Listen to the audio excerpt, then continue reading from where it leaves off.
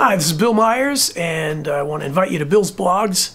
Uh, this one's titled Ride Like the Wind. It's about a piece that I got to score with a 90 piece orchestra. Um, this started out in uh, 2004 when I received a phone call from Peter Rotter, who was working at that time uh, with musical uh, contractor Sandy DeCrescent. She had most of the large sessions, you know, put, put together large orchestras for film and he told me that they'd like to hire me to uh, write a string arrangement for a song featured in the upcoming movie Team America World Police, which is a pretty funny movie. If you guys uh, get a chance, you should check it out. The composers were Marc Shaiman and Harry Gregson Williams, and they're two of my favorites. So I, I was thrilled and intrigued to see what it was. Um, when I spoke to Peter, he told me um, the song in the movie it was titled "I'm So Ronery," R O N E R Y I said, well, who's singing that? And he said, well, actually, uh, it's somebody that's supposed to sound like the, the uh, uh, North Korean dictator at the time. And he said, uh, the first arrangement, you know, orchestral arrangement that played the scene ended up being too comedic. He said it was almost like uh, having whoopee cushions or honks honks everywhere. Um, and could I try a different approach? And I said, sure. So I, I took a look at the song and um, I decided kind of to arrange the strings very sweetly and very straight.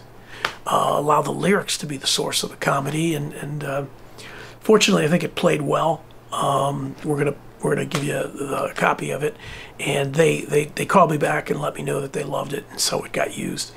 A couple months later, I got a call from Peter, and he said that once a year, Sandy um, rented out uh, a studio with her A team orchestra, 80 plus musicians for, for the day to accommodate uh, uh, young composers, people that um, um, they've chosen. You know, they picked a few every year, three or four, to uh, each get an hour's worth of studio time with, with an orchestra. Uh, and they were willing to give this hour of a time uh, people that they thought could possibly break through as, as, as you know, uh, fledgling composers. And each uh, composer had to share the cost of the studio time and personnel, um, you know, with Sandy's company.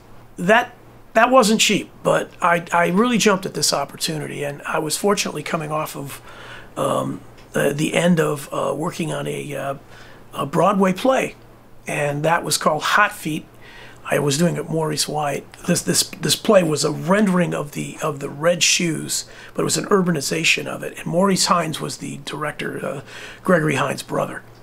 So um, fortunately, it, it was uh, really profitable, and uh, I had the money to do this. So I decided I'm in.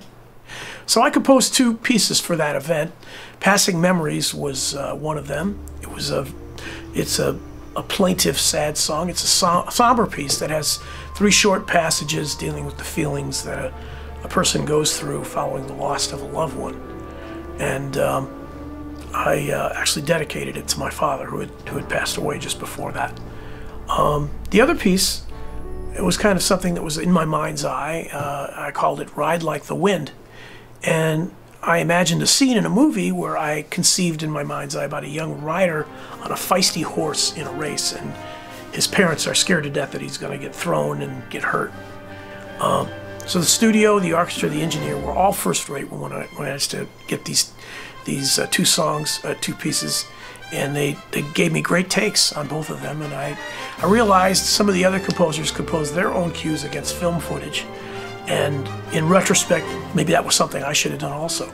But um, I got a call afterwards from Peter praising me, and I thanked him profusely. But um, after that, I, I, never heard anything else. Um, I found out a few years later that I was told by somebody that he felt my age was an issue. I think they were looking for the youngest composers they could get that that would fit that bill.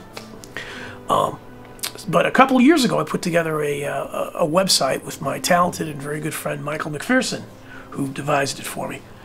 Uh, and I thought, I want to treat this with more than just the music. So um, it contains a wide variance of, of my work when I, when I added this site. But um, the cue, Ride Like the Wind, I wanted to have it uh, and add visuals like storyboards to to help bring you know what I was trying to do to light. And I met a very talented young animator by the name of George Allmeyer, and he did a wonderful job helping me with this. Um, and I think it came out really good. Uh, it uh, it shows the nine stages in a horse race of a young rider, and uh, there's the the countdown and and and the actual uh, start of the race, and then it cuts abruptly to the second phase, uh, people waiting to have the riders come near them. They haven't come, but they're in a distance, and you see them get closer. Third stage, the the riders are are coming by, and the kid's doing really well in the race. He's excited. He's up near the top. Um, the fourth stage is uh, you want to slow it down to slow motion, and you see the beauty and musculature of these these beautiful animals.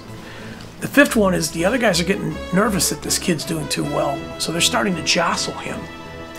Okay, that's followed by um, a very steep climb up a, a, a tough hill. So you get that sense of the horses slipping and sliding going up that hill. Um, the seventh one is as they're coming down, there's a there's a gorge that they're going to have to jump, and of course the kid's scared, uh, but he manages to lift his horse up and land past it. And then the the eighth uh, cue card is is them racing to the finish line, which the the kid wins, and the final scene is him getting congratulated and hugged by his parents, and their relief that he didn't break his neck in the process of the race. Um, I hope you check it out and I hope you enjoy it.